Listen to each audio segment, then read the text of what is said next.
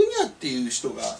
ちょっといろいろと教えてくれてましてですね。大津がこの間まあ斉藤健一郎君議員に会った時に立花がですね11月中に捕まるとか逮捕されるとか斉藤健一郎さんたちもいわゆる他の人たちもですね共犯ですよみたいなことを言っててその中身についてやっとですね出てきたというかでもう本当バカだなこいつらっていうレベルなんですが一応解説をしておきます。まずですね3.3億円の借金。党から立花個人が3.3億円の借金をしています。これが会社化に対しての背任とか横領と言ってるんですね。NHK 党というのは国政政党で会社法じゃなくてこのようなあ法律が該当してですね、政党助成法の第4条、国は政党の政治活動の自由を尊重し、政党交付金の交付にあたっては条件をし、またその使途について制限してはならないって書いてある。どんな使い方しても構いませんって書いてあるんですよ。つまり、立花個人に3.3億貸そうが、立花の会社に1億円支払おうがですね、何ら問題ないって書いてあるんですよ。その基本中の基本が、それがわからないからこの3.3億の借金が犯罪だって言ってるわけですねこれ名誉毀損ですよ言っときますけどでちなみにこの3.3億っていうのは皆さんご存知の通りガーシーに対して僕は 2, 2億円貸してます党から僕が借りて僕からガーシー2億円貸してるんですね。で残りの1.3億は、えー、ほぼですね僕が2019年に政治団体から参議院選挙に出た時に41人候補者出したんです。当時の供託金だけでもほぼ1.3億選挙代で1.3億借りてるんですよ。僕個人が。で僕個人が借りたものを政党から借りてるだけでこの3.3億円の借金なんていうのは収支報告書に上がってるわけですね。で大津はこれをなんか今だ今見つけたみたいなこと言ってるのかな？分かりませんが、えー、大津は5月の10日にですね、えー、記者会見を開いて警察と連携してるって言ってますね。どこの警察か言えませんがと言ってるんですが、まあ、まずこの3.3億の借金については、はい、全く問題ありません。法律違反でもなければ道義上の違反でもありません。終わりです。2個目、親族への不正な利益供与。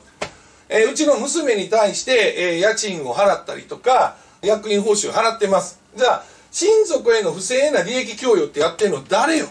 大津さんじゃないのひょっとして。大津彩香さん、あなた大丈夫ですか？あなたのお父さんはあなたが仕事もしていないのにあなたに給料払ったりしてませんか？これ疑いですけど。国政政党の党首を名乗りながら自分の収入源を言わないからこう疑いかけられるんですが大津彩香のお父さんは株式会社です。働いてない人にお金を払うことはそれは脱税とか法人税法違反とかなるんです。よ会社ですから法人税払わなきゃいけないですね。でも国政政党は会社じゃないから脱税にはならないんですよ。もちろん先ほどの法律と一緒でどんな使い方しても構いませんと。だから大津彩香のお父さんの会社は国民に対して支出を公開する義務ないんです。税務署とかに公開するだけであってね。ないんですが政党はその代わり自分の息子や娘にいくら払ってるかって出てくるんですね。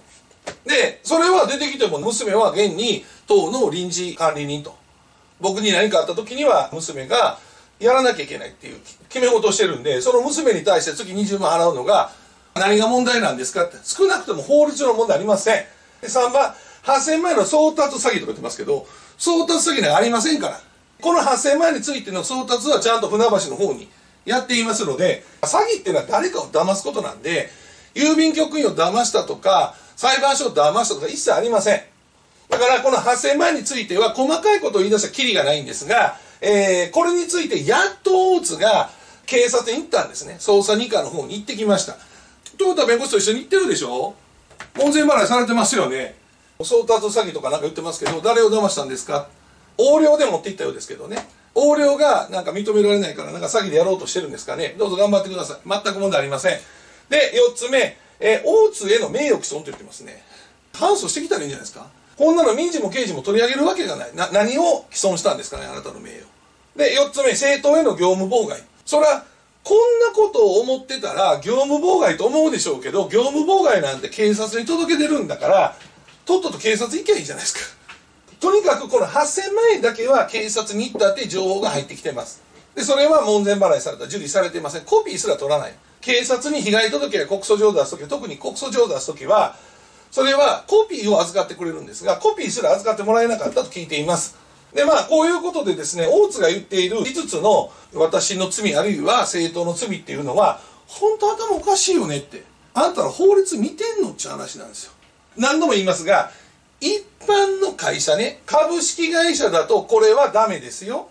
担保もなくねいくら社長といえども社長に3.3億のお金を貸し付けましたと。担保も取らずに会社がすごく損害を食らいました。そうすると特別背任罪ってあるんですよ。でも政党にはそもそも特別背任って適用されないですよ。じゃあ背任罪に当たりますかって言ったらちゃんとガーシーにねお金を貸したりとか党のためのお金を使ってて個人のためのお金を使ってないんだからまっとうな使い方をしてるので全く問題ない、まあ、2番もそうです。ちゃんと娘は働いてくれてるからお金を渡してるだけの話です。で3つ目についてはやっとねこれは警察が受け取ってくれるんじゃないかと思って大津が調子に乗って警視庁に行ったんですけども県もほろろで知ったと。で、えー、4番5番については何の動きも出てませんと。でこれで立花が今月逮捕されるということを信じてるやつらってめちゃくちゃやばいんですがそういうやつらにはこの共同不法行為とか強さっていうのが適用されるんです。で僕は実は大津の方で党のお金を使ってるっていうことも掴んでいます。大津急に今あのかぶり良くなりましたよね。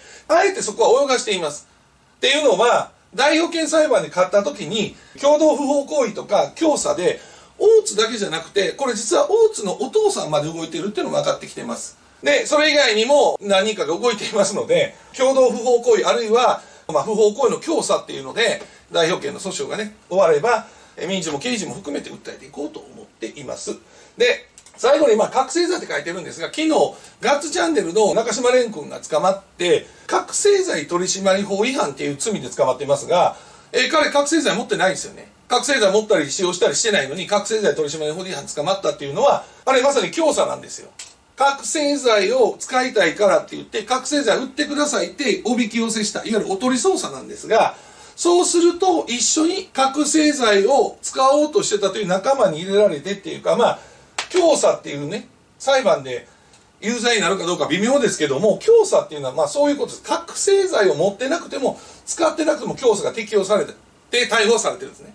で同じように大津がこんなこと一生懸命言ってますがちょっと調べれば分かる話なんですよもちろんね、豊田弁護士が言ってたからそんなんには許されませんからね。弁護士が言ってたからって関係ないですから。これどう考えても、犯罪じゃないことを犯罪だということを信じて、大津と一緒に行動してる人は、共同不法行為かあるいは教唆っていうところで民事も刑事も問われるということになりますので、これ何度も注意してるんですよね。まあ僕が多分それを言ったら、業務妨害みたいなこと言ってるんでしょうが、まあこれ白黒はっきり間もなくつきますので、今しばらくお待ちください。NHK をぶっ壊